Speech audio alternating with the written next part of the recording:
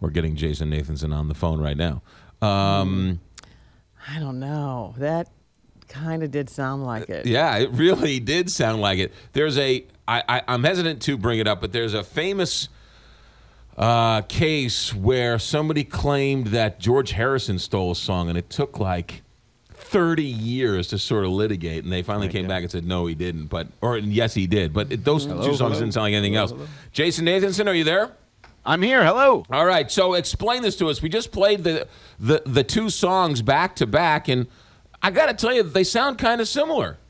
Okay, but there's a bigger bar for what is copyright infringement than just sounding similar. Mm-hmm. But w- the comparison that you just did, the jury never got to hear because the jury never heard the actual song Taurus by Spirit.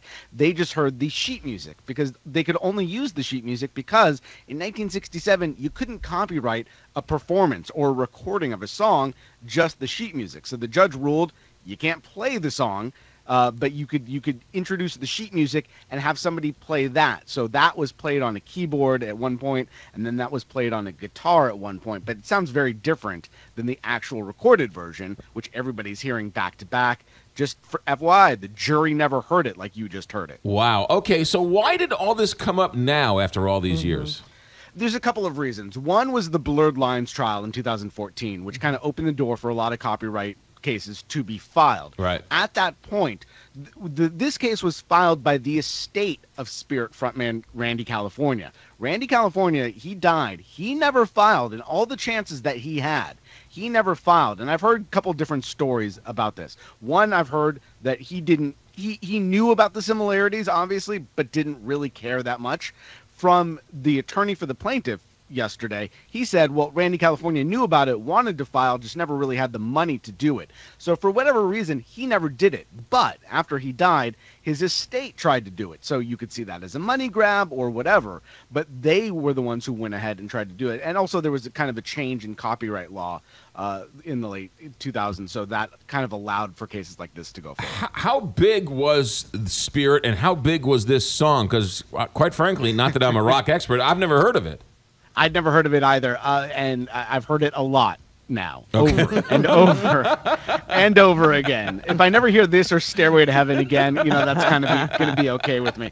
Uh, but Spirit was, you know, kind of big. Led Zeppelin did play with them on a bill in the early in the late '60s, before Led Zeppelin was really a thing. When they were just starting out, they played at a couple different concerts or uh, festivals with Spirit. They knew Spirit. Jimmy Page uh, testified to this. He had four or five Spirit albums in his collection, including the album with this song on it. And there's a song by Spirit called Fresh Garbage. When Led Zeppelin was just starting out, they stole the riff fresh from Fresh Garbage. They did do that and played that on stage a couple of times. So this was a band people were aware of.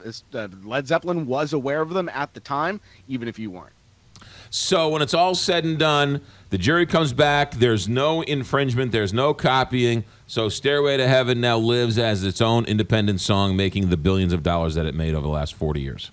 Yeah, they had to prove two things. One, that Led Zeppelin, Jimmy Page, and Robert Plant specifically had access to the song, which they did prove. The jury said, yes, you you guys had played together. Jimmy Page, you had the, the album in your collection. You guys, the likelihood of you hearing the song, it probably happened. But in the technicalities of copyright, that did not happen. It's so interesting that the, the jury didn't hear the two songs played back to back. And that's what the, the the plaintiff's attorney afterwards he made it i was talking to him about it and he made a big stink about that. So i asked well then are you going to appeal? He said eh, i don't know. We're going to talk to the people and figure it out. So you know it's possible that they could appeal. That's what the big you know a lot of people i've talked to uh, another copyright lawyer who was there who watched the whole trial they said i mean that's kind of an issue. The jury never heard it like we heard it. Yeah. but again you know they they heard what they needed to hear and they found no infringement Jason Nathanson on the inside, giving us all the straight dope. Jason, have a good weekend. Thanks for checking in. you're welcome 625, Big 550, KTRS.